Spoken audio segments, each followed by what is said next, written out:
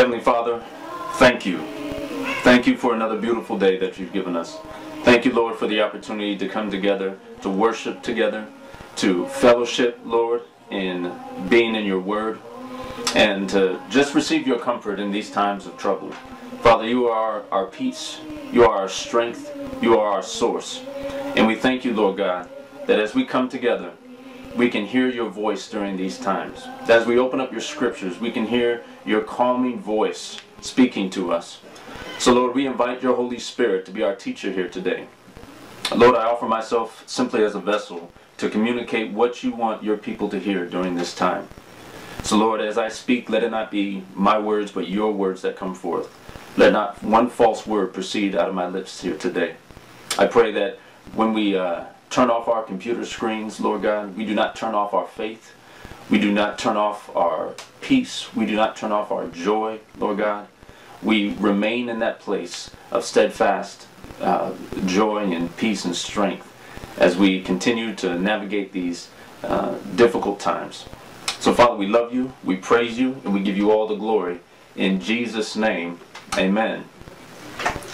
Well, everyone, it's been quite the couple weeks and um, we've been navigating this uh, both physically and spiritually, uh, this coronavirus crisis. And it's important to acknowledge the fact that regardless of what your feelings are about it and its uh, overall impact on the world, and whether people are overreacting or not, we are in a crisis. And it's important during these times to, to check ourselves and make sure that we are operating in a place where God can use us.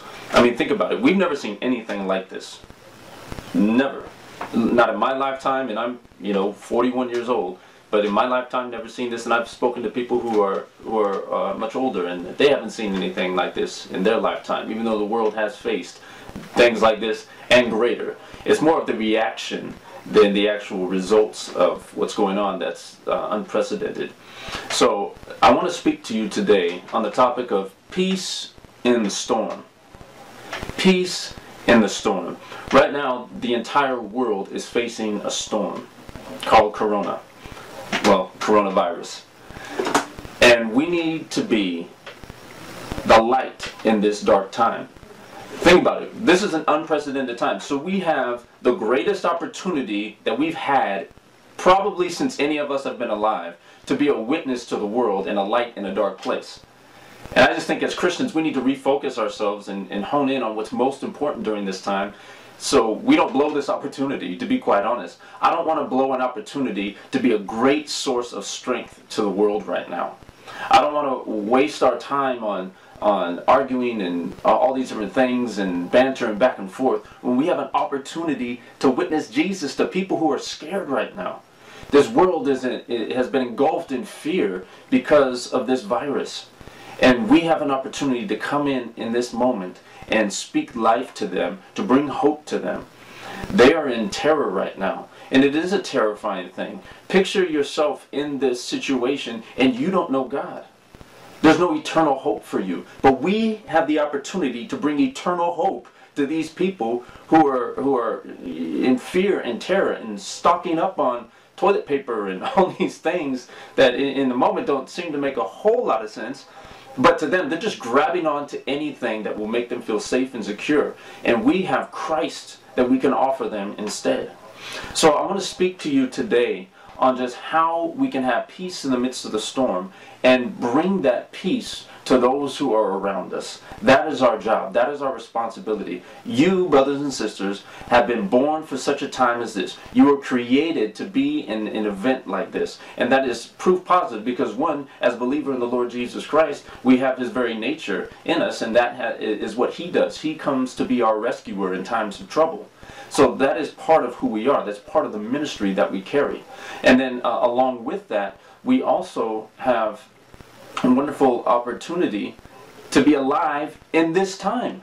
We could have been born at any other time, but God saw fit that you be born now in this time so you can minister to the world and all this is that is going on.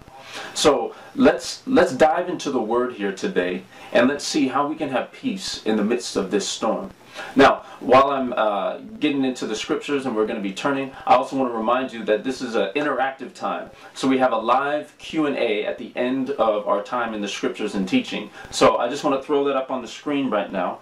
Um, you can text 818-835-4030 and you can ask any questions at any time throughout the uh, the message here. So again, the numbers there is up on the screen. It's 818-835-4030. And I'll, I, I may not be able to get to all the questions. I'll, I'll do the very best that I can. I want to be respectful of, uh, of time, even though y'all aren't doing anything. You're just sitting at the house. So, so with that, will you turn in your Bibles to Matthew chapter 8 with me. Matthew chapter 8. And we're going to begin at verse 23. 23.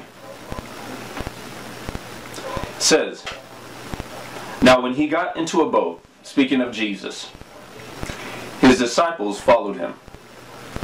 And suddenly a great tempest arose on the sea, so that the boat was covered with the waves. So here are the disciples on the boat with Jesus, and a storm comes up. And the waves are overtaking the boat. But something very interesting comes next. It says, But he, Jesus, was asleep. Jesus was asleep. So let's let's get this in our mind here, and let's just see what's what's going on. Just put yourself in their position for just a moment. They get on a boat with Jesus. I would assume that when the King of Kings and Lord of Lords is on a boat with me and we're going to a destination, that everything would be okay. But in the midst of having Jesus physically right there with them, a great tempest arises and begins to thrash them about, and the waves are overtaking the boat. First thing I want to point out here is just because we walk with Jesus does not mean the storms of life are not going to hit us. As a matter of fact, when we go a little bit further, it seems like every time they're on the boat, a storm comes up when they're with Jesus. But in this moment, the, the key thing is that while the storm is raging, Jesus is on the boat and he is asleep. I think my children can sleep pretty good.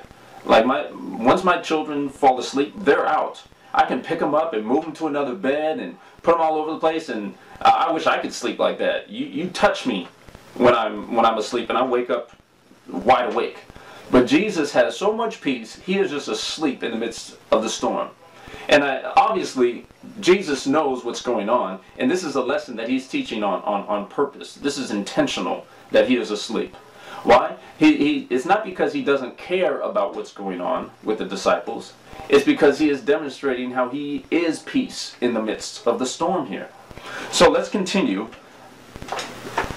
In verse 25 it says, Then his disciples came to him and awoke him, saying, Lord, save us. We are perishing. So there's there's two very different reactions to the storm that we see here. We, we, we see the disciples who are on deck and they're watching the storms and they're watching the waves and everything's coming over them and they are in a panic.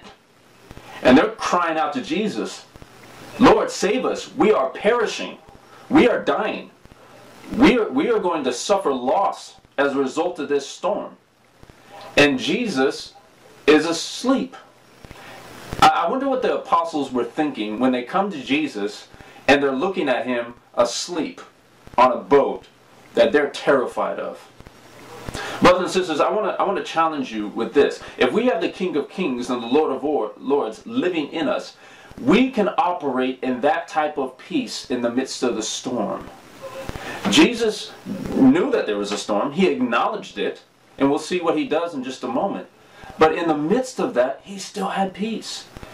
His, his disciples are frantic and running around all over the place and they come to him and I, and I would I would imagine that there's a bit of frustration in their voice because they're looking at Jesus in uh, asleep on the boat and they're like hello lord save us we're perishing almost to, oh, there's almost a tone of don't you care don't you care But listen to Jesus' response in verse 26.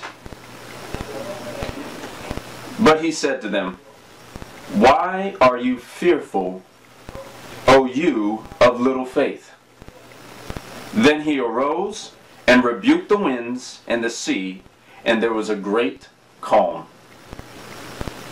Jesus' first reaction to them was, Why are you fearful? Christians, believers, disciples of the Lord Jesus Christ, in times of storms, why are we fearful? The Lord is with us. He's right with us. He is there to rescue us. He is there to be our peace.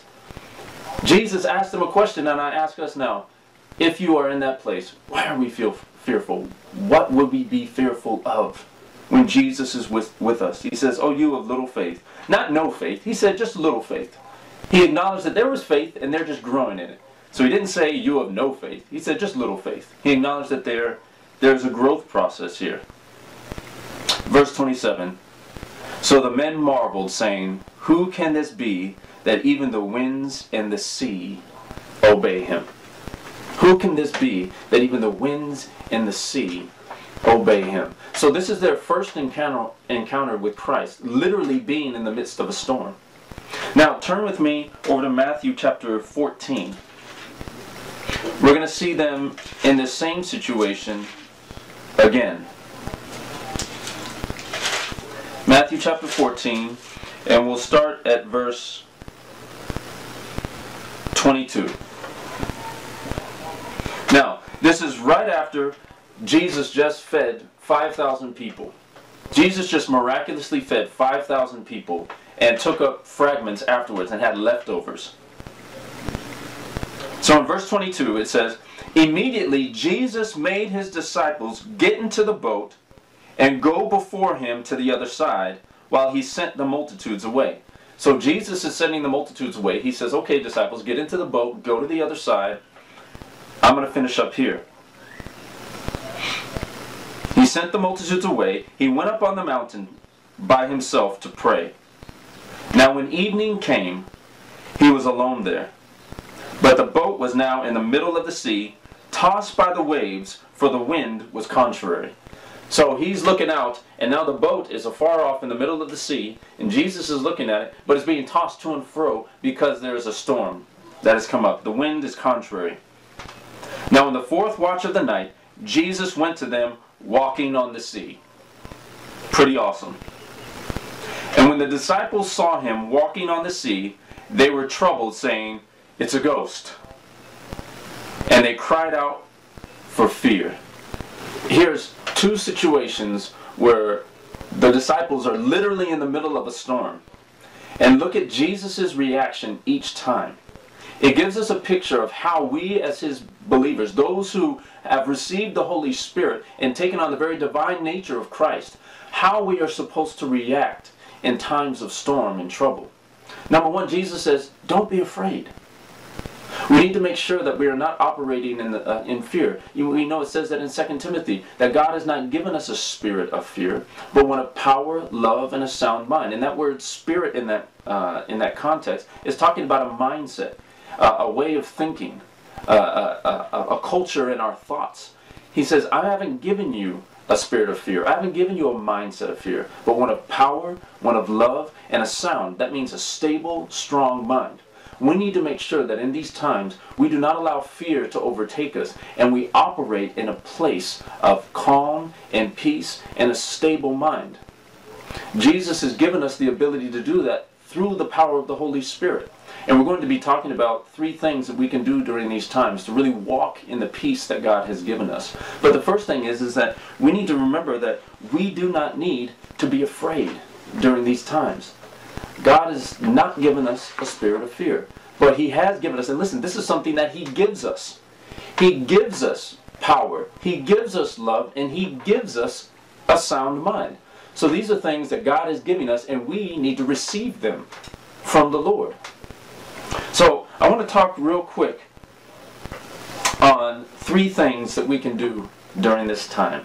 We see that Jesus is telling us, don't be afraid. And we remember that he, he is the one in the midst of the storm. But one of the things that he says to them on both occasions is, "Oh, you have little faith, you have little faith." So uh, again, not no faith, just just little faith, and and that's a that's an encouragement to grow.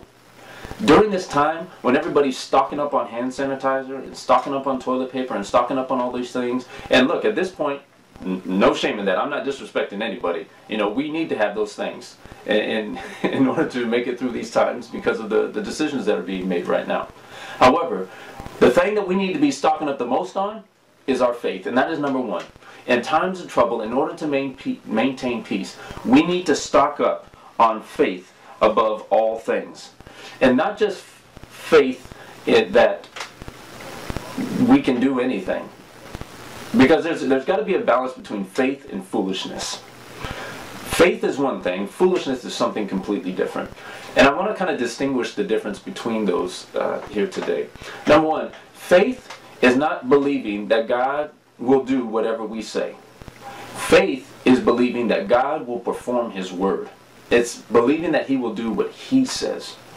So, God has given us His word, and He will be faithful to perform it. Now, His word includes those things that are commandments as well. And not just the things that he can do and will do for us, but the things that he is asking us to do in order to uh, uh, receive the things that he's, he's told us are due us as his children. So, in order to stock up on faith, here's a couple things that we can do. Number one, we need to remember the things that he has done for us. See, the, the disciples, in that second encounter with the wind and the waves, they were still in fear. In that one, they were specifically afraid of Jesus walking on the water, but there was fear that was there. He had to tell them, do not be afraid.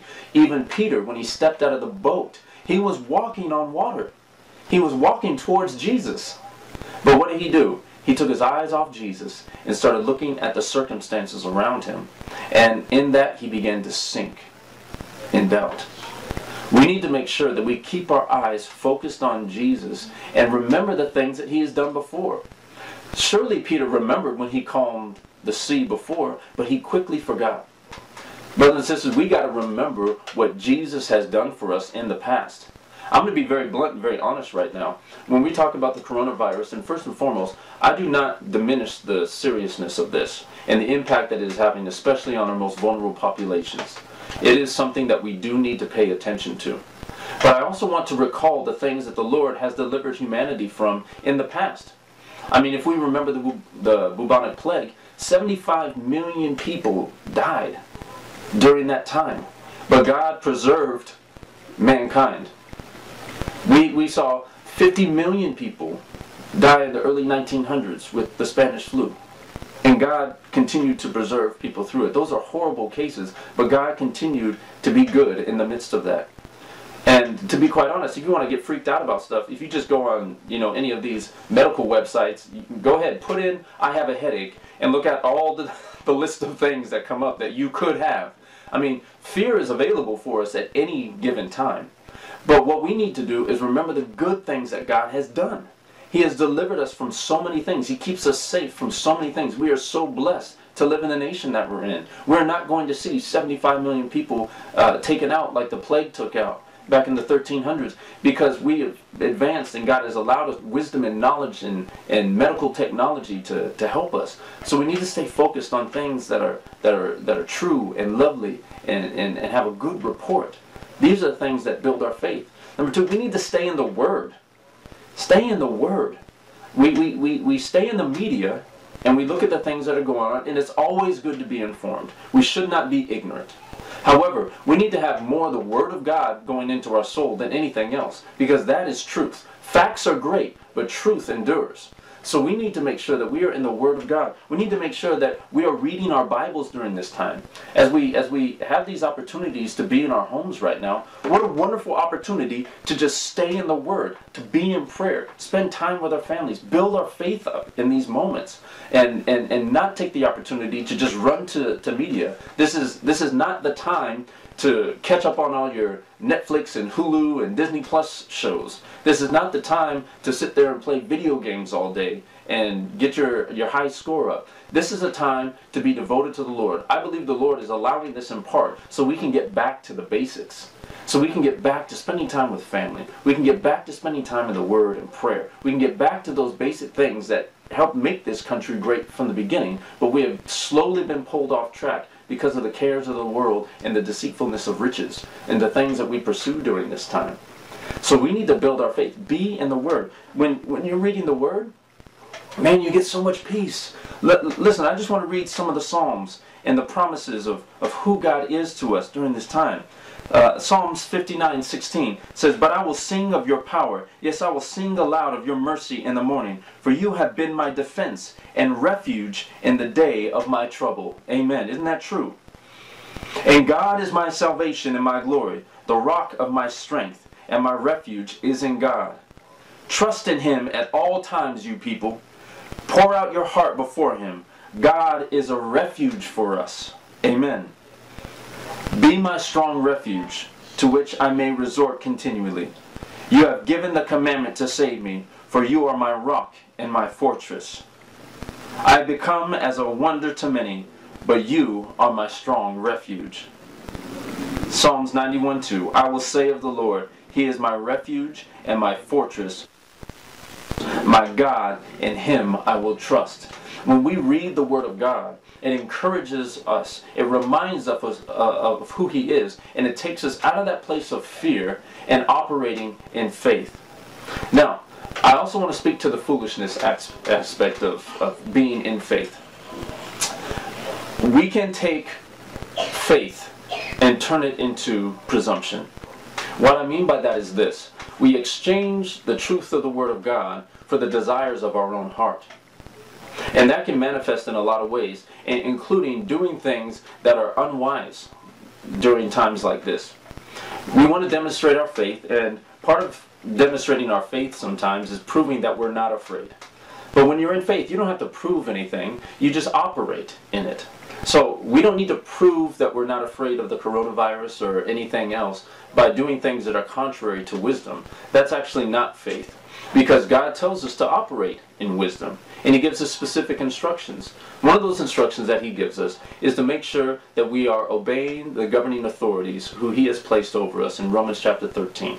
So during this time, when the government makes a request of us, it is, according to the Word of God, it is on us as Christians to yield to that and be obedient.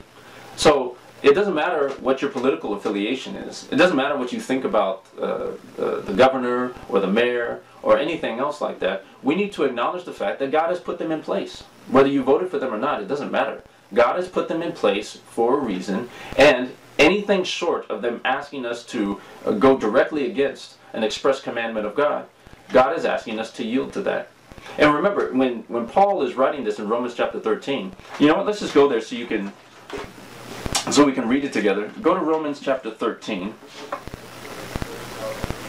Romans 13. And we'll look at verse 4.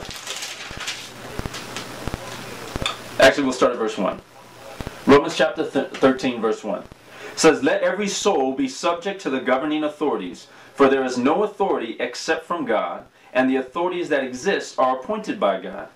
Therefore, whoever resists the authorities resists the ordinance of God, and those who resist will bring judgment on themselves. For rulers are not a terror to good works, but to evil. Do you want to be unafraid of the authority? Do what is good, and you will have praise from the same. So listen, God put the government in place. Now, this was not a democratic republic that Paul was writing this under. This was under the Roman rule. This is under the same government that would end up killing him that he's writing these things. Now, there's not just a carte blanche, do whatever they say. There, there have been times throughout history that God has caused those to, re- to stand up against oppressive governments. But in this case, the government is not trying to oppress us. They're doing their best to protect us. And again, we want to make sure that we're obeying the Word of God and not operating in a place of foolishness. If they're asking us to stay inside so they can curb the uh, impact that the coronavirus will have on the most vulnerable, then we need to make sure that we are considerate of that and, and listening to those authorities and limit it. I'm not saying sit in the corner of your house in fear. but use uh, use that wisdom and be respectful of what the government is asking. So let's not take uh, faith into a place of foolishness. You know, there's reports of people saying, you know, we're we're ready to lick the floor to prove that we trust in God. I'm like, well, I don't think the Word of God ever asked us to lick the floor to prove that of us is being peaceful and calm in the midst of this time and being respectful to the to the government so that we can be blameless before them. It would be a horrible thing to start seeing news reports of how Christians are being disrespectful to the government during this time and how it's it's just another evidence that we're crazy. That's not the, the witness that we want to give to the world. So during this time, let's not fade into foolishness. Let's not let's not stand over here in fear. Let's stay in faith. Stay in the word stock up on it, be faithful to the Lord and what He's asking you to do, and be an example to those around us. So, number one, stock up on, on faith. Number two, Isaiah chapter 26. The Lord writes in verse 3 here. It's a verse that you all have, have heard many times, but I want to read it in, in, in light of what's going on right now says, You will keep him in perfect peace, whose mind is stayed on you, because he trusts in you. Trust in the Lord forever, for in Yah the Lord is everlasting strength. We need to have a perspective here. And that perspective on this situation begins with keeping our eyes focused on Jesus. One of the things that Peter did in the midst of that storm is he took his eyes off of Jesus and put it on the storm. By focusing on Jesus, we're not denying that there's a storm. We're not denying that there's something that we need to pay attention to, but we're giving priority to the one who is Lord over the storm. We need to keep our eyes on him. We need to keep that, that perspective. And how do we keep perspective? How do we keep our eyes on Jesus? It kind of goes back up uh, to what we first said on stocking up on faith. When we keep our eyes on the Word and His promises and what He said more than anything else, that needs to be the, the priority of our heart. Is what did Jesus say to us? Not just what the news has said to us, but what did Jesus say in response to, to those things? Keeping our eyes on Jesus is a difference between operating in peace and doing the impossible, and then operating in panic and beginning to sink. Jesus was Peter's focus when he first stepped out. But as he shifted his perspective onto the circumstances, he began to operate in panic. And that panic caused him to sink. And Jesus, in full of grace and mercy, pulled him back up. But we need to keep our, our perspective. When we're, when we're sharing information about what is going on, we also need to share the truth of the gospel. So, hey, yes, it is wise for us to stay in our house. But thanks be to God who is above all things, and He is our healer during this time. That He keeps us from sickness and disease. He is our He's our refuge and our strength. So we need to make sure that while we're sharing information, we're sharing truth along along with it and maintain that perspective. Also during this time, we need to make sure that we're, we're keeping the, the ultimate perspective and that we are ministers of the gospel of Jesus Christ. We are not ministers of uh, facts. We're not ministers of, you know, conspiracy theories and all that. Uh, we are ministers of the gospel of Jesus Christ. So, more than anything, during these times, again, we have a wonderful opportunity to witness Christ to the world right now. Not just in word, but also in deed. So, keep that perspective. This time, God has allowed this time to stir up the hearts of people to look toward. You know how many people are praying now? You know how many people are thinking about eternity right now?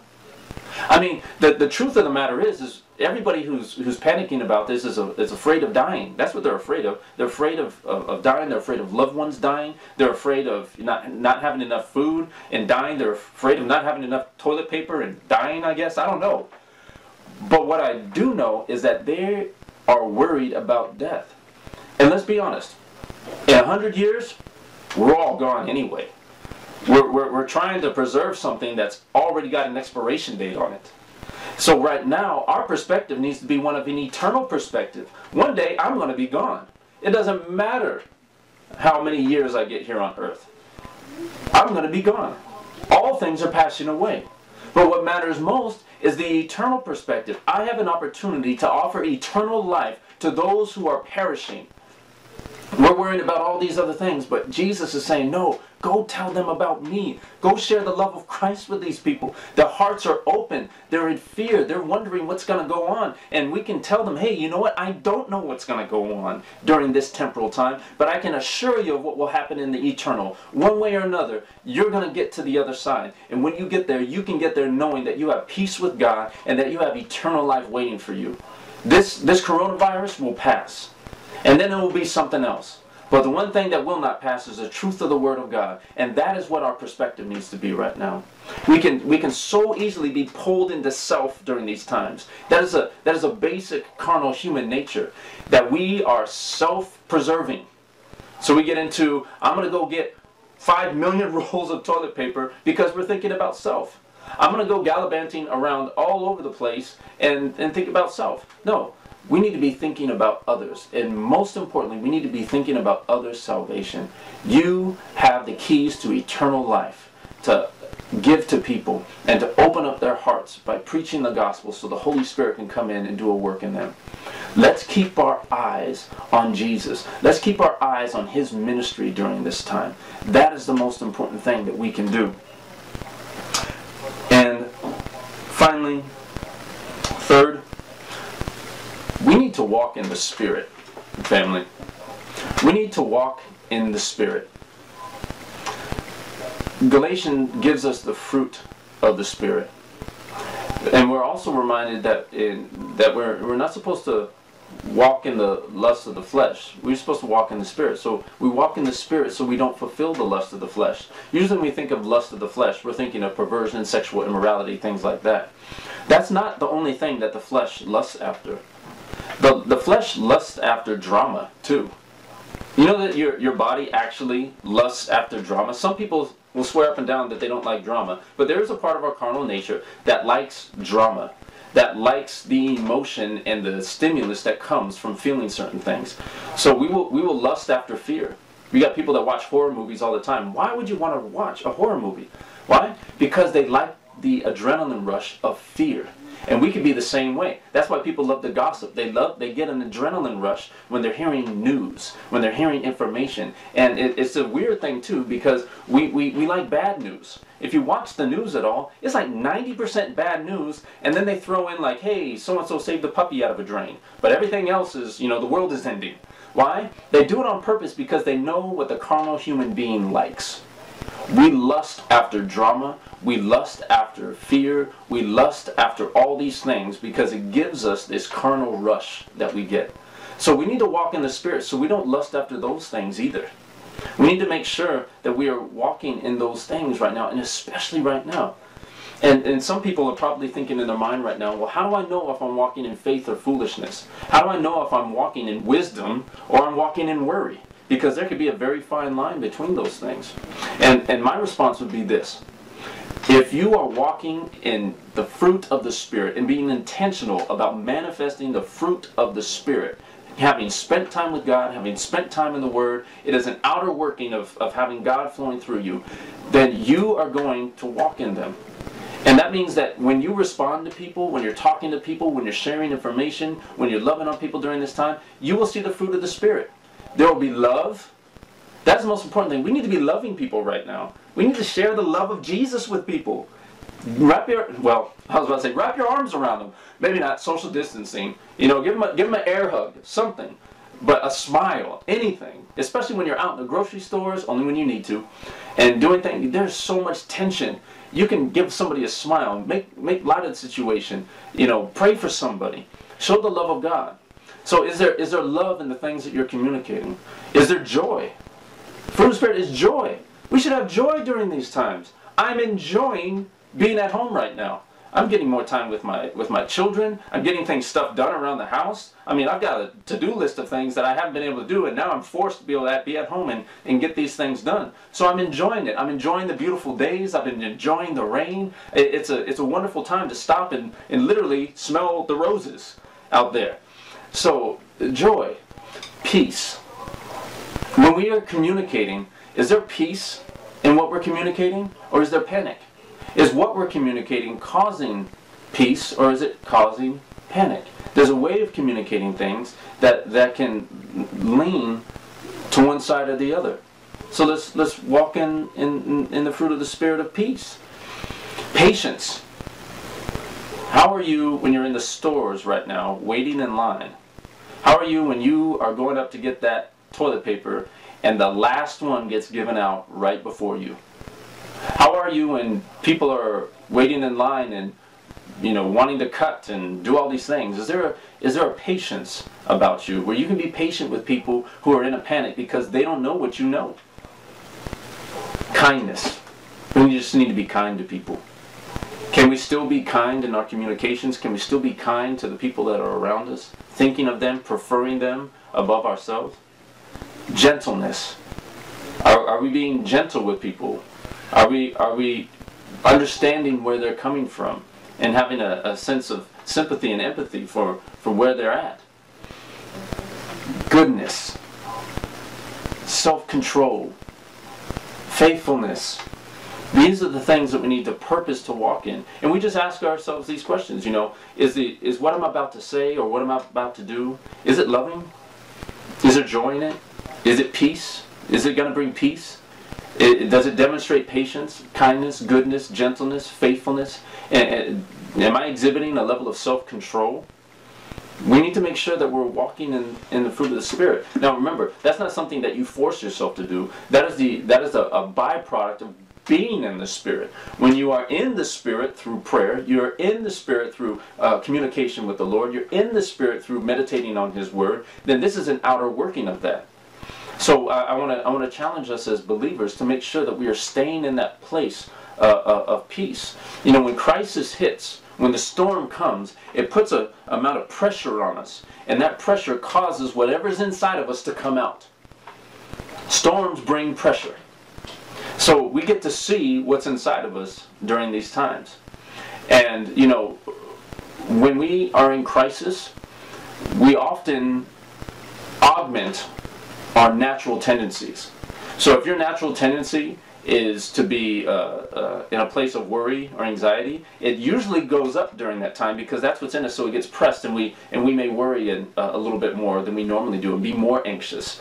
If we are uh, overly self-confident, that when we get pressed, that over self-confidence will, will come out and uh, come across as, as pride and, and, and almost rebellious.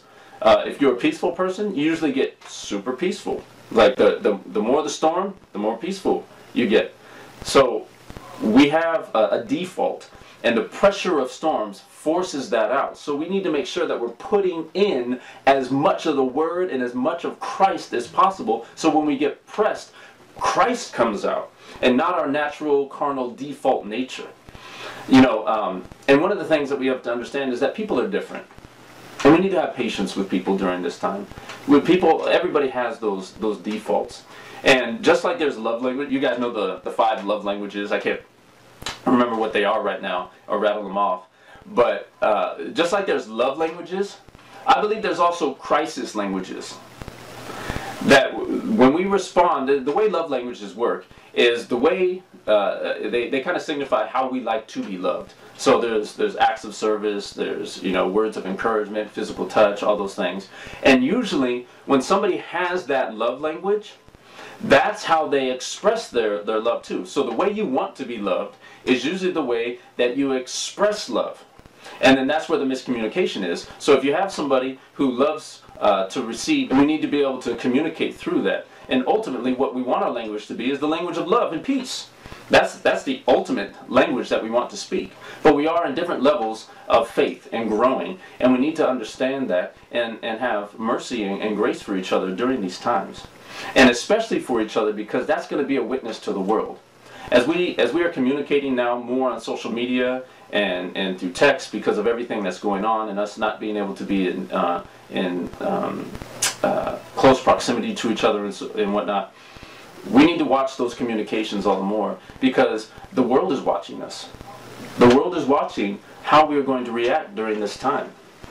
So I want to encourage you guys. Listen, stock up on faith during this time.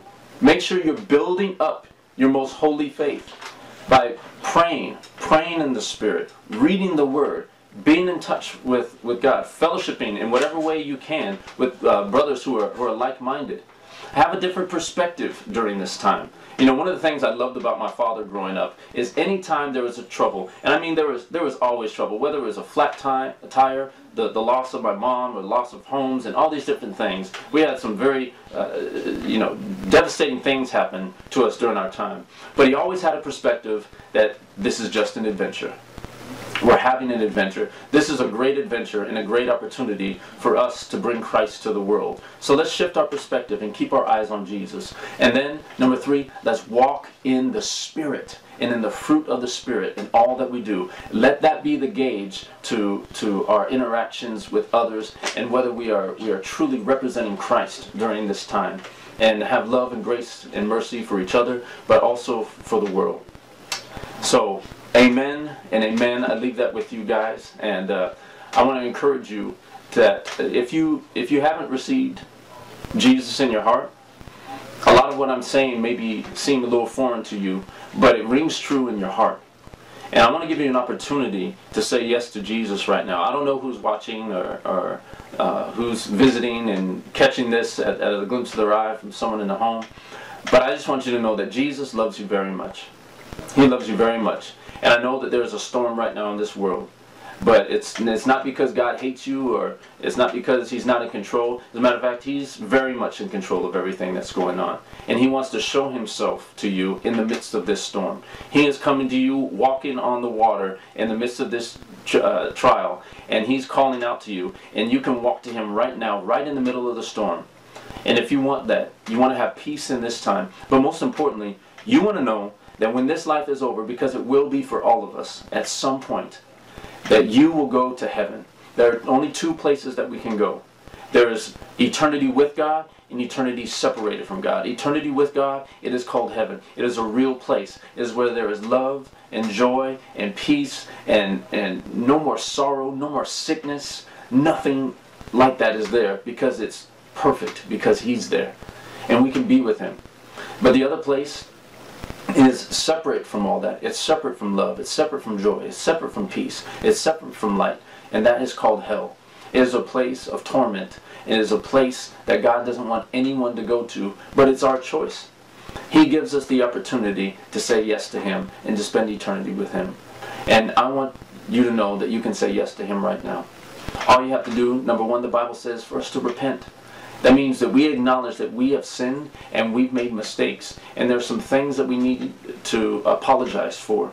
That's what it means. It means that we're shifting our mind, we're changing our mind and saying, I'm going I was going in this direction, but now I'm going to go in this direction. And that is towards Christ.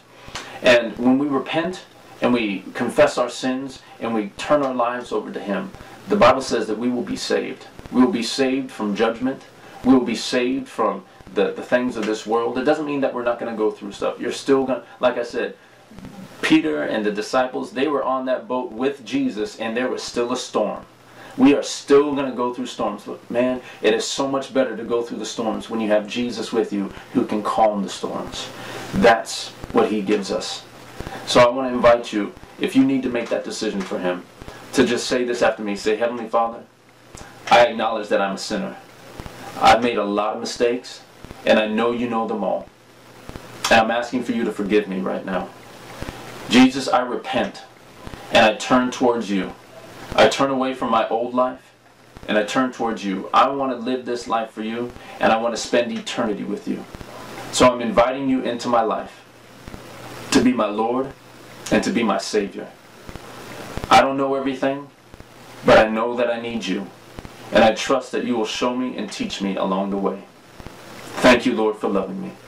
In Jesus' name, amen. Now, listen, if you prayed that prayer, I'm so glad that you prayed that with me uh, um, over the internet, over our live stream. But I want to encourage you to tell somebody. Go tell somebody, hey, I accepted Jesus. I said yes to the Lord today. And that would just be a huge blessing. You can also uh, click on or go to our website, www www.legacyfamily.church and click on the connect button there.